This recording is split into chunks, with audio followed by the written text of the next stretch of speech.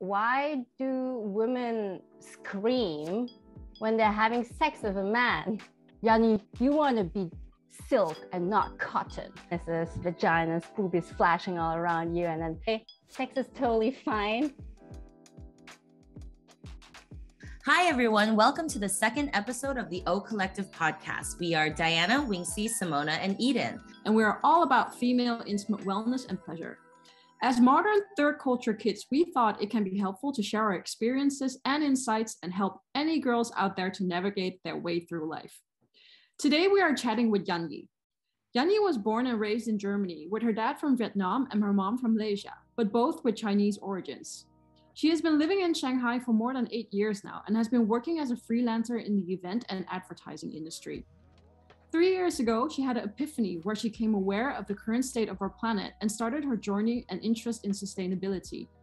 Since then, she has co founded a sustainability platform, and after, she's been looking for fun ways to raise awareness. One of that is Kink Race. Welcome, Yanyie. Welcome, Yanyie. Hi.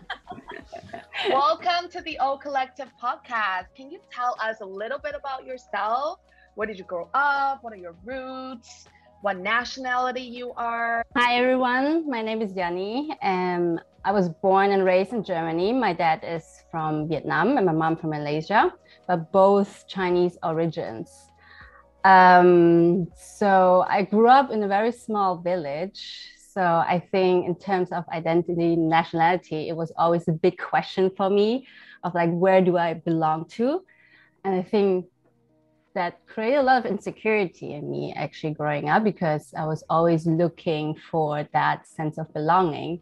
But I think getting older, I am feeling proud and I'm really feeling lucky that I have that um, two cultural background because I think that taught me a lot of like seeing a lot of things from different perspective. Mm. Um, yeah, in terms of what I identify with and gender, uh, I think I am quite I'm hetero, but I am actually quite uh, curious to try things out with girls. I think what's funny is that I have been dreaming I had like dreams about having sex with girls, but I never actually had done that in real life. So maybe you should just try it. Maybe, maybe this is like a, a sign, a yeah. sign of me. Yeah, a deep rooted desire that needs to get to fruition. Exactly. Yeah. Um, so with growing up in Germany and now you live in Shanghai, so and also having all of the different cultural insights and experiences that you had, can you elaborate a little bit on how you grew up around int- intimacy and sex and relationships and for instance how your parents raised you with it or what you saw at school or how you talked to your friends about it and also how you actually see that right now in China? Hmm. So I think growing up in a quite Chinese family, sex and t- intimacy was never really a topic. I think that also created a lot of conflicts because growing up in Germany, Germany is quite an open, I would say, relatively open country where sex, I mean, I have friends that had sex like already at a very early stage. I had like boyfriends over, staying overnight with them. But that was never allowed from my parents and i think especially i think there was also this expectation of because i was the first child and also a girl that as a girl you have to maintain yourself you have to preserve yourself and yeah. i remember my mom would always like tell me like yanyie you want to be silk and not cotton so what does like, that mean no in the sense of like you need to like put your out like you need to put yourself out there as like hard to get and not like have sex with everyone because then you know as you're gonna be raw. Yes, exactly. You're gonna be ah. treated um, badly, and I I think in a way there was some rightness about it as in like because I grew up in a small village so there was still the idea of like men can you know fuck around and it's fine but if a girl, uh, if a woman does it, then she's a slut right away. Mm. But um, yeah, but still, I think in comparison with like how I grew up about sexuality, I mean, in the family, we were still very conservative about it and didn't talk about it at all. But I think then, like through friends, we talked a lot about it. And then, you know, I think we had our first sex class in like fourth grade on like what are the sex organs, how to put a condom. Um, so there was like an early interest on it uh, already. And I think also in a way I was exposed to sex like through TV a lot. Like I think in Germany you have quite a lot of like, especially when it hits like 10 p.m. Yeah. We had like those like you know erotic like oh call call me under this number or like you know like some erotic films. So I was exposed to sex in a very early stage already, and I was always super curious about it. I'm not sure if I actually should say it, but I think I learned about masturbation already way before I actually understood it. Like I hmm. think one of the first memories I have of masturbation was in kindergarten. And that was like not because I knew that that was like masturbation, but it was because it felt good. And it actually Yes. helped me to fall asleep. Yes. I actually had the same. I already told the girls before in the in the in the previous episode that uh, we were talking about when we discovered masturbation and sex, and I was also compared to the other girls pretty early. Yeah. Yeah, it's something natural, nothing to be ashamed of. Can you remember that? Like, did your parents ever find out no, that you? never. That was like something that we would never Yeah, talk about. I mean, I think like the older I got, like now, I sometimes have like with my mom only, like talks about like how sex is important, hmm. but that pretty much stays at that level. It wouldn't go like deeper. Yeah, yeah. The overall agreement is that it's important, but I feel that our parents feel very awkward once we hit the topic of sex and intimacy. Not even talking about it, just also just like touching your parents is already or hugging your parents already feels like awkward for Yeah. me. at least. Yeah, Yeah. I think like for me, I was like to my with my mom, we had quite a close like. I would see my mom naked, and she would see me naked. That was fine, but I think it was really more the topic of sex, and especially having sex with people. Yeah. Did she ever tell you not to have it, or from what age you should have it? I mean, never really like an age, but definitely not in my teens. um, I think one of the funny story, and I love my mom, and I think it's also. I mean, I understand that it's also something that you know she got told from her parents probably, but like one of the things like she would tell me, and I think I was still like a kid, and I saw it somewhere on TV, and I asked her, "Mom, why do women scream when they're having sex with a man? And my mom was like, because, Because it you're hurts. Because it, because it hurts very much. So don't do it. they know how to scare you off. Yeah, exactly. It could also be true. yeah. She, does she know that you do kink raise? Um not in the ex- not the kinky part. Oh.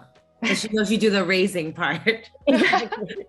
this is maybe a good pathway into uh, also explaining what kink raise is. I think we haven't really talked about that yet. it's having fun, fundraising, and being kinky as you like to express combined together. Actually, it all started from a birthday party. So me and my friend wanted to throw a huge party, and I think fundraising was has been something that I have been doing like a couple birthdays before. That instead of asking friends for giving gifts, I would ask them to help fund for a cause. So we did one like for um, the earthquake in Lombok and for elephants. And then for this one, we wanted to raise for um, an organization that plants tree in China to battle climate change and desertification. But then we were like, okay, let's make it also fun and think of a theme around it. And the same year, um, I went to Germany early that year. And for the first time, I went to a sex club in Berlin, a very famous one called Kit Kat. Sure oh, yeah, I know that one. Yeah. But so, it's where everybody is naked, right? Yes. Or so, and they have many different rooms. Exactly. So it was because I knew Berlin was always super open. I knew like for a while my friends have been telling me that they like even at normal parties they would have like sex positive parties where you basically were where it was okay to have sex at parties. Oh but that sex club is something that is really like made for that pretty much so you really so you were only allowed to go in if you were dressed up so you had to dress up in very kinky or like in any fetish or as naked as you want actually the more naked the better and you walk in and it's this huge club with different rooms and everyone was just like everyone was just almost naked. So you had like penises, vaginas, boobies flashing all around you. And then you had like a big dance floor. Then you had like dark rooms where you can really like go there just to have sex with random people. And then wow. you had bars and then you had like corridors that were themed. And yeah, so people were able to just like do sexually whatever they wanted. And I thought it was so amazing because you walk in there and you see really people from everywhere around the world and it's a huge club so you can really imagine like a couple hundred people. Um, and they all feel so confident and like so comfortable to just express themselves in any ways. And you didn't feel judged at all did, did, you feel awkward first entering it? Or like what were your feelings before and afterward after you entered it? I would because I'm, I'm just thinking about it. I'm thinking i would feel super insecure or awkward or i don't know hesitant to go in. And then but maybe if you're finally in you're like yolo. Let me just strip down. Yeah i think at the beginning was definitely a bit like definitely very new I was very curious, but I was definitely very new to just see everyone like being just like, you know, naked, walking naked around, dancing naked around, having sex around everyone. And at one point, I was sitting there having a drink with a friend, and we were just chatting about life, catching up. And around us, we had like on one side people, you know, having a threesome, and in front of us, the guy sucking of another guy's penis, and then on the other side there was like some heavy fingering going on, and it was oh, just oh, wow. very normal. And I think at the beginning you're a bit like, I think at the beginning I was a bit like, huh, maybe, you know, I would get turned on by that, seeing all this, but funnily, I didn't really get turned on. I was more like very curious to see that experience happening around me. Um, so I think I almost felt more like a voyeur it was just enjoying watching that. That experience inspired you to bring that to Shanghai. Yes, exactly. So, I mean, I knew that we couldn't do exactly that in Shanghai. Mm. That would never be possible here. But I think the idea of just people being able to show more of their body and feeling good about it um, I think that was more something that I wanted to bring over.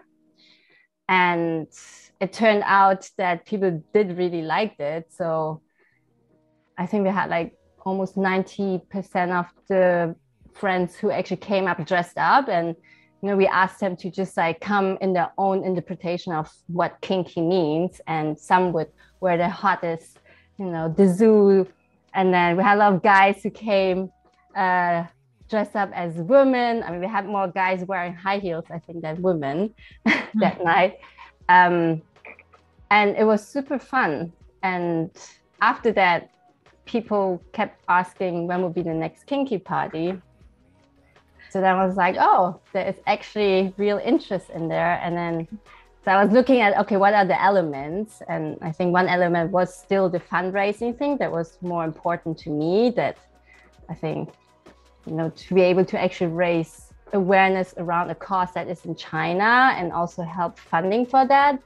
And then on the other side was really the idea of like um, kinky, but under another sub theme. So we had like uh, we had like cyberpunk and disco and then people could go you know crazy and creative with like how they interpret that and then kind of trying to create that safe space where people could really go in and show them off and feel not judged by it. And yeah i think this was then how kink race pretty much was born.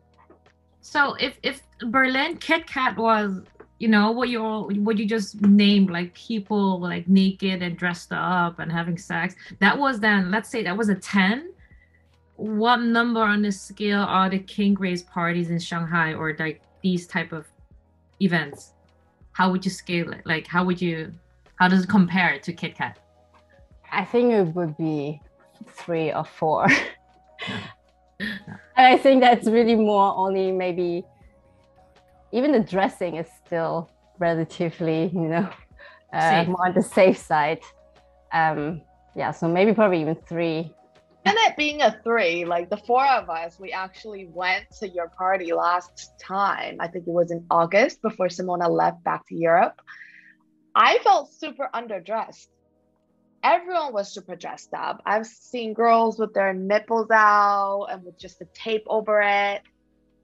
I mean, for China, I think that's a level nine.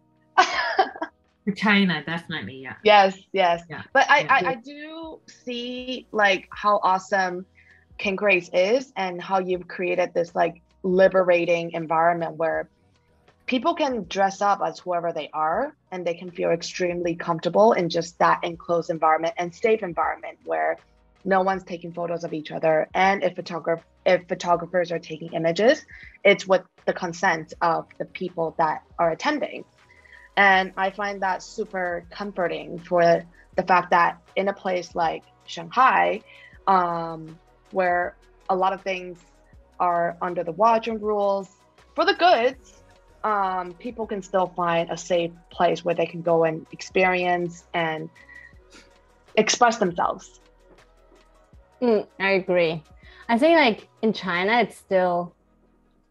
I was talking to one of the guy who was in one of the kink race. He was doing the bondage performance, so he actually had like deep insight into you know this whole scene and what is actually allowed and not. And he was telling me, for example, in China, you are not allowed to show nudity at all, mm-hmm. or having sex. That's completely illegal yeah. So I think we, for that reason, you would never be able to go that far already. I just remember because I actually messaged Yanyie a few weeks ago because in the party that you had, there was um like bidding for for a stripper um and i actually got it for my friend's birthday uh, a few weeks ago and it was so crazy how difficult it was to have a place where that could happen because a lot of venues won't allow it and the the stripper the dancer themselves um, was very like cautious of where they would do it mm. um, because and then i was thinking kind of like that's so weird because you could easily say that's your friend who just likes to take their clothes off and have a good time but it's just a very sensitive place and it's not like you're having sex with them and they're not showing their genitals but they're just doing this act of that potential you know, part of the sexual intimacy that becomes kind of a weird, blurred area. Yeah, totally. I think that's definitely also something like when we so what the uh, the drag queen who was our um, moderator, our host last time, um, they were telling me because they've been also trying to organize more kinky events in China where they actually you know go into bondage and people and like whipping people and everything and everything has to be in a very controlled environment so there's always like yeah, you have to really play safe. It's always very, I think, risky to get out of because you could just get in trouble with Yeah. the government. Well, we're talking about this, right? And then they're like, you know, growing up in Germany, what you mentioned earlier, and and also what we see now with kink rays in China, that there are different rules how the country um, treats sex and nudity and sex in public. Do you th- how do you think it has affected how people view sex? I think what I see, for example, in Berlin, like, and also what, because I've been living here in Shanghai for so long already. So it's more like only if I go back and visit and I hear from friends that, you know, Berlin is a place where it's super, super open. Like, even compared to other German cities, it's one of the op- mo- most open cities there. And I think there was like a time where, you know, people are way more open also in like trying out things and then when it came with the whole like gender identification um you know one of my friends was telling me that you know when you had to fill a form instead of just like uh you know being a woman or a man they already had all these different um, categories for you to choose. And also you know in terms of prefer sexual preferences you had also you know 10 of them and i wouldn't even know half of them. So i think in comparison i think berlin is a place where it's very open and encouraged to just like go out and do it. And i think there's probably less judgment around it whereas i feel here because everything is so close up that i think in a way people probably do and i see it in myself as well like there is a desire to express that but because you don't have that safe space you don't feel really comfortable to do it either. Mm-hmm.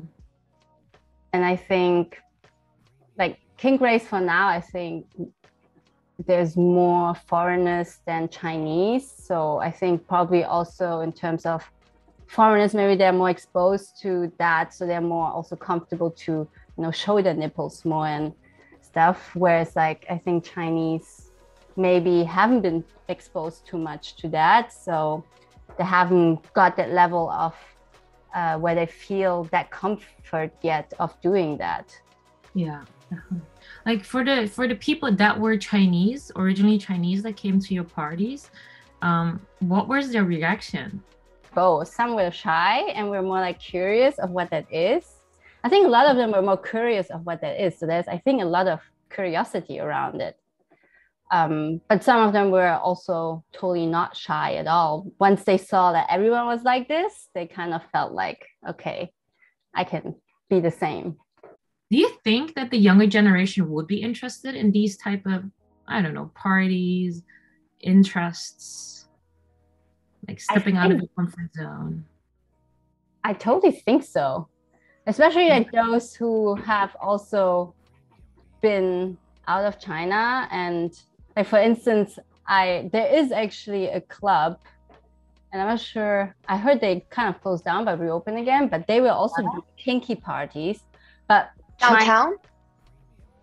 I think that was like on Julu Lu. Oh, No, 151, not 158, but it's across 158, 151. exactly. That's Yes. small. Yes.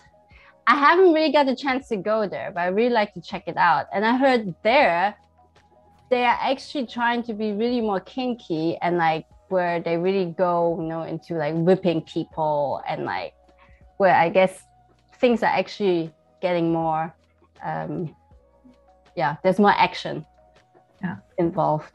Yes, the last time I went there, I remember going into the smoking room and then I was just casually there smoking my e-cigarette. I don't know if I should be saying this, but smoking my e-cigarette and a dude behind me had his hand reaching down a girl's boob and just resting it there while smoking his cigarette. Looked back, I was like, oh, she also looks okay. She's enjoying it. He's enjoying it. Cool. Th- uh, I just kept doing my that- thing.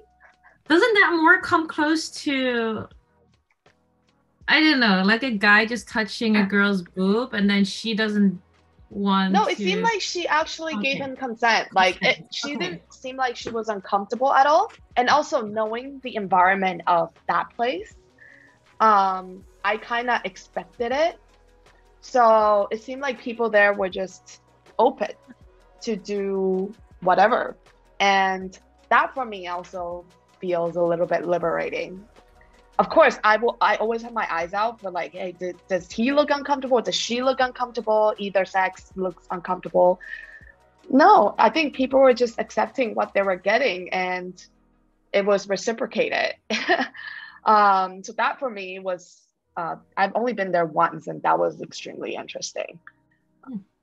Yeah, I would definitely like to go and check it out. I think one of the thing is like like for example in in uh, KitKat, one of the I guess underlining rule was consensus. Like that's what you were also mentioning. And I think over there, what I thought was quite impressive was that even though there was like the space where it seemed like everyone was just like you know free to do whatever there was, but I think there was the underlining rule of consensus. So people were pretty respectful. Like even you know, a guy came to me and he would actually very shyly ask me first, uh, you know, who I am and, you know, meet me and everything. And ask before he would was allowed. Like I had to actually say yes for him to actually go further. And, and I was observing that for other people's as well. So I think there was like definitely a very strong underlining like knowledge or like idea of like, okay, you have to consent to before you can do anything. Hmm. Yeah, I'm, I'm nodding a lot because actually Simona wrote an article just last week about BDSM and kink um, for Mental Health Day, World Mental Health Day. And one of the key stat was, for me, it was my first time learning it, was that um, there's a higher percentage of people who actually they have the process of getting each other's consent in the kink and in the kink and BDSM community versus like the other communities, for example.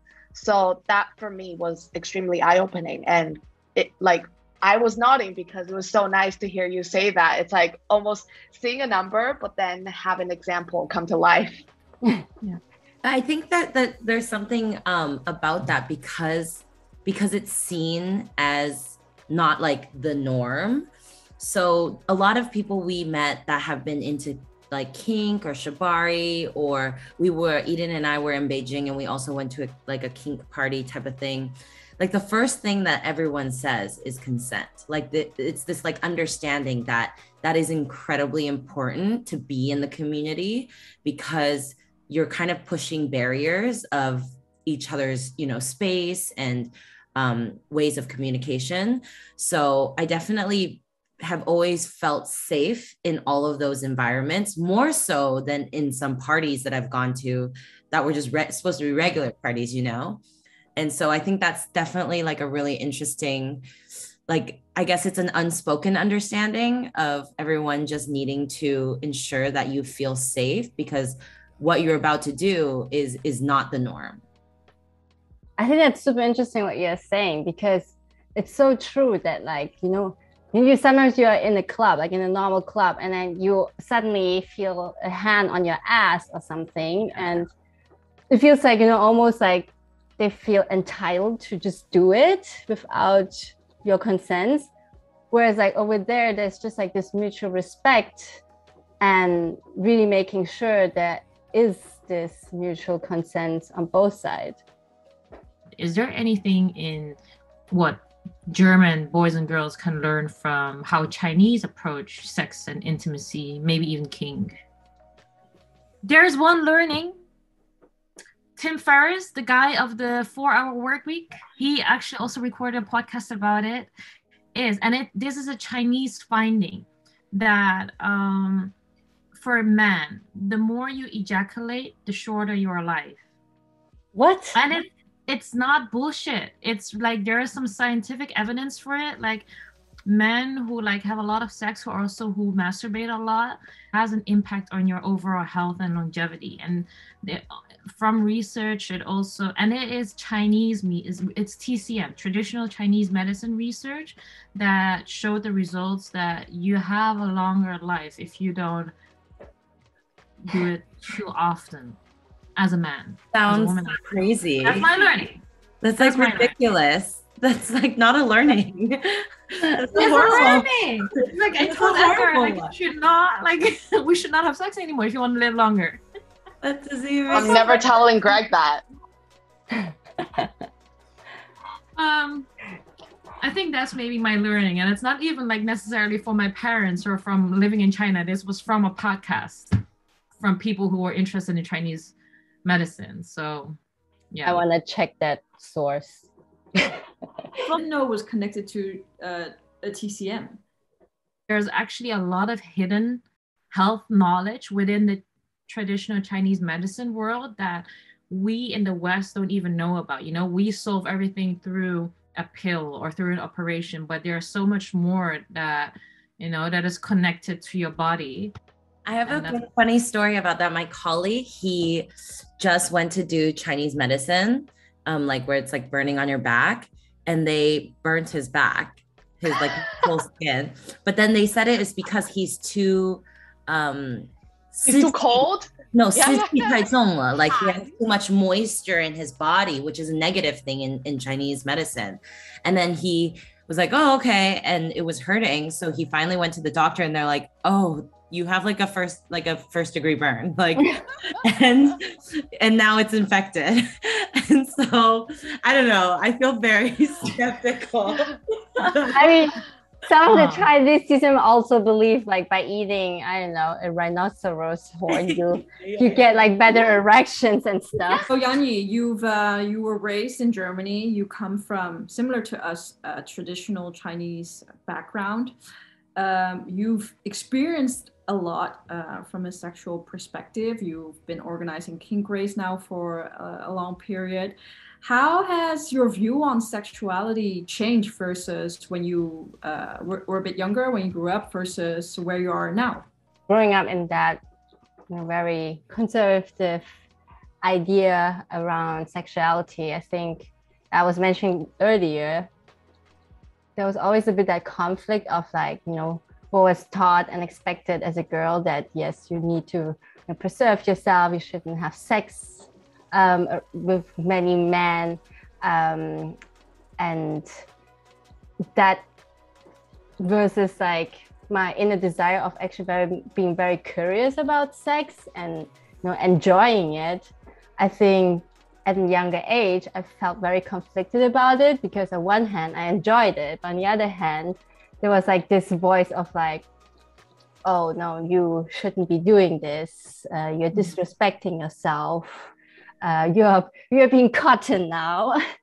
um, and I think growing up um, now at this stage, I feel way more comfortable about it and actually accept that it's okay to have sex and it's okay to actually really enjoy it and there is no stigma to it if I want to have sex with different men. Um, so that definitely was one of my biggest growth around this.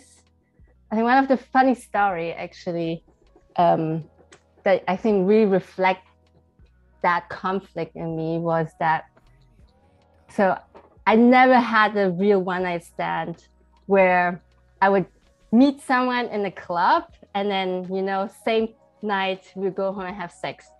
And I had three trials. And those three trials completely failed because so you're in the club it was all good. You flirted and it was getting all hot. And then at one point the guy would be like okay let's go home. And I would even say okay let's do it and I was like in my mind was like okay I'm gonna do it tonight. I'm gonna do it tonight. And then so with one of that um, I was already in the room and we started kissing and he was starting to undress myself. And then suddenly in my mind I was just like no Yan you can't do this. Cotton. cotton exactly. Cotton. And I really told him like I'm sorry but I need to go. And I just ran off. Oh wow. Ah, so then then it seems that the belief that you grew up with is strong, stronger than you thought it was. yeah totally Right. and I think still sometimes I think it's still there I mean now I have a boyfriend so it's different But Mhm. I think, yeah, as a single, where you were more able to just go around um, and should have have sex if you want to, but definitely that voice was always somehow lingering there and telling me not to be cotton. That's so funny. in the 'cause, like end- from my personal experience, I feel like I've been in situations like that as well. Um, and then it, when I'm thinking about it and I'm like, oh, you should not do it, blah, blah, blah. But then there's a part of me that convinces me to just do it because I'm like, oh, we've like already committed this far. Like he deserves this. like, I, you know, like he's worked so hard and I already like I shouldn't be a tease and I should just do it. And then I, I would do it. So that's so Yeah. funny. And I think that's maybe a sign of like, I don't know, moral compass or different values. You're too kind. Too kind know, to I'm oh, mankind. maybe I'm just being too nice. Um, but I always think about that. I'm like, oh, uh, we he's like put so much effort at this point, and like we're already at like we've already gotten a cab and gone to this location. Like we might as well just do it now. Like that's Dana, you sound like you're doing charity. yeah, like I'm like, yeah, th- I might, yeah, he deserves it. And then so, and then Yeah. yeah, you you should just think next time cotton. yeah, I That's, know. I, I that's need your to have your word. cotton. Cotton. I You didn't have grow my up with voice. like people telling me about like a silk and cotton, the differences. So Hey, but Yanyie, I'm very curious. So, like, because of your upbringing, and then now knowing like how that has impacted you, even to this day, um, what would you do if, like, how would you educate your future kids, um, if you have them, around the whole topic of sex? yeah, I think I definitely would say sex is totally fine and that you should have it as much as you want. you won't die. I You love won't die. long Die. Maggie. What's the proper age? Would you would you like have an age limit or like what if they're like 10 years old and then they're like, Ma, I'm masturbating. How would you feel about that? I mean, I masturbated at, I don't know, four. So I think with 10, that would be later. That'd be nothing. I think for me, it's more about how it's more like teaching responsibility. I would teach responsibility to my kid to say, like, okay, look, you can get pregnant if you don't protect, you can get STDs if you don't protect. So just be, you know, conscious and aware about these things and responsible. But definitely, if I think if they want to try it out and have sex. And I think it's also having like this early conversation about it because I think there was like so much like the secret thing around sex, and that especially like from my parents that I was I shouldn't have sex so early. And obviously, as a as a rebellious kid, you want to do exactly that. And I think to just have that open conversation I hope that will actually help to just, yeah, make my kid more responsible about it, but still be able to feel okay to do it and free to express. Yanyie, would you um, start a conversation about sex with your kids or would you wait for your kids to come to you? And I don't have kids yet. I, I don't have have them. Why are we bombarding her with questions about kids? yeah, she's like, I don't even want kids. I do want kids.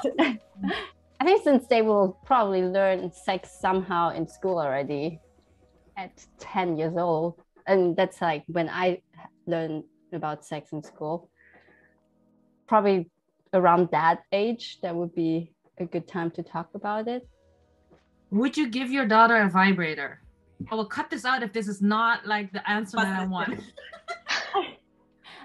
I'm not thinking of like at what age, but I definitely I think would be happy to. I mean, just already for the joke, it's like I'm a cool mom. Um, but also to just make it probably more normal about it. Well, what what That's do you, true. what do you what do you think you would tell your younger self now that you're older and you have a, a lot more open experiences um, any any like tips or advice or just things to know that you would remind yourself on how to go about yourself at a younger age yeah i think it all comes down again to just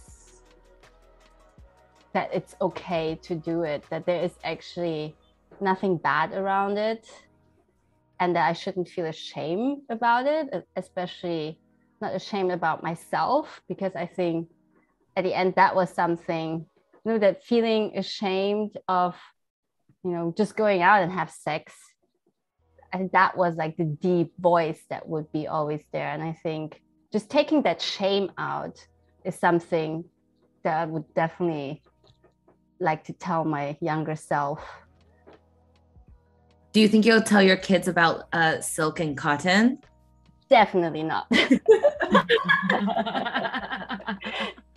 That traumatized me and i'm gonna do that. Same to them is this, by the way, something very Chinese? Do all Chinese kids know about silk and cotton?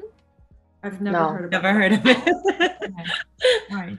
maybe it's malaysian or have you have you have you heard about um if you have a lot of sex your nipples turn dark is that something that you no No. It's also something that my mom told me.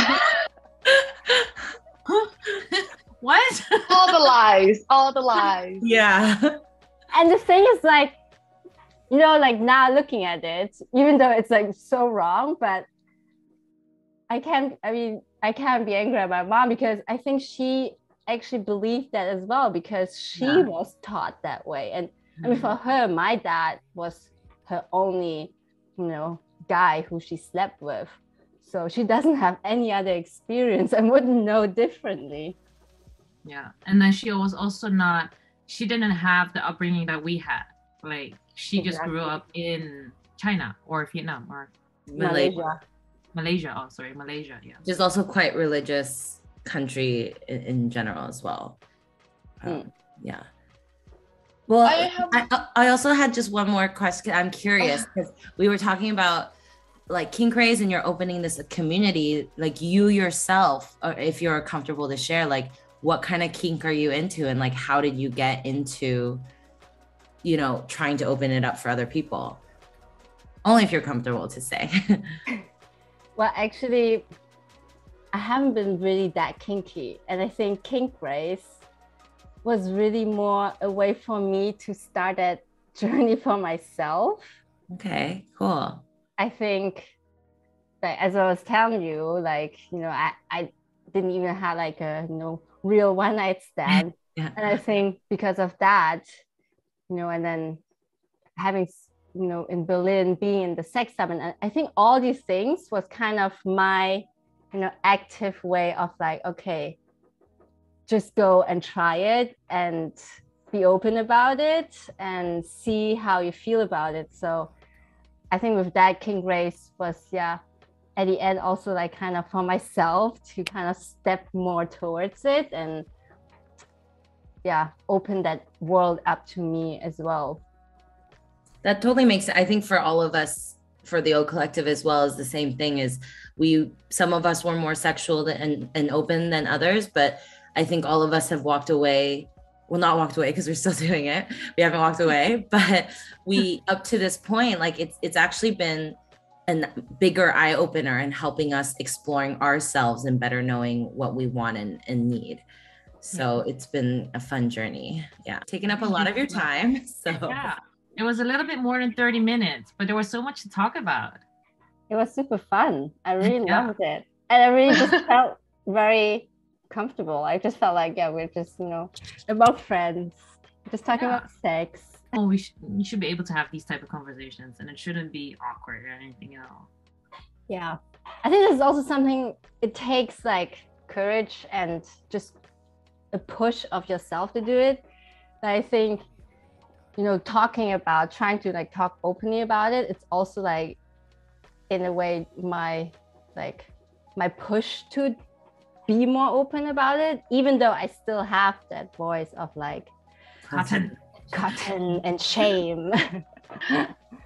I think it's also the environment, right, where you're in. I think it also depends a little bit on on the people that you're with, and you you kind of always feel in the first five to ten minutes whether these are the people that you're comfortable uh, with sharing a bit more about yourself uh, versus if you're with a group of people that you think might judge you a little bit uh, of, of what you're doing actually so i do feel like there's like certain environments where people feel more comfortable in in sharing Yeah, that's very true. We're just very nice people. You can share everything with us. Yes. Tell us all your dirty secrets. That's why you're the Oak Danny, thank you so much for being on our second podcast. Uh, we love what you shared about Kink Race. We are looking very forward towards our Kink Race TOC event. Uh, thank you so much again, and we hope to see you soon again on our podcast. Yeah, me too. Thank you for having me. Thank you. Cotton, cotton, cotton. of uh, oh my fucking god uh, oh my god i'm so bad at this i'll go look for if there's wine in the fridge if there's Okay. wine i'll.